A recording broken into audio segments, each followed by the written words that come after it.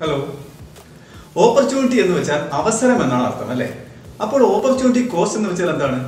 നോക്കാം. നിങ്ങളുടെ മുന്നിൽ രണ്ട് അവസരങ്ങൾ ഉണ്ടെന്ന് വെക്കുക. ഒരു സുഹൃത്ത് നിങ്ങളെ ബിരിയാണി കഴിക്കാൻ വിളിക്കുന്നു മറ്റൊരു സുഹൃത്ത് നിങ്ങളെ സിനിമ കാണാൻ ക്ഷണിക്കുന്നു. നിങ്ങൾ ബിരിയാണിയാണ് തിരഞ്ഞെടുത്തത്. അപ്പോൾ നിങ്ങൾക്ക് നഷ്ടമായ അവസരം ഏതാണ്? സിനിമ കാണാനുള്ളത്.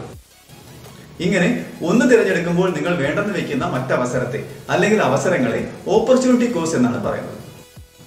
നിങ്ങൾ ഒരു ഷോപ്പിൽ നിന്ന് ഒരു സാധനം തിരഞ്ഞെടുക്കുമ്പോൾ വേണ്ടെന്ന് വെക്കുന്ന മറ്റ് സാധനങ്ങളും ഓപ്പർച്യൂണിറ്റി കോസ്റ്റ് തന്നെയാണ്.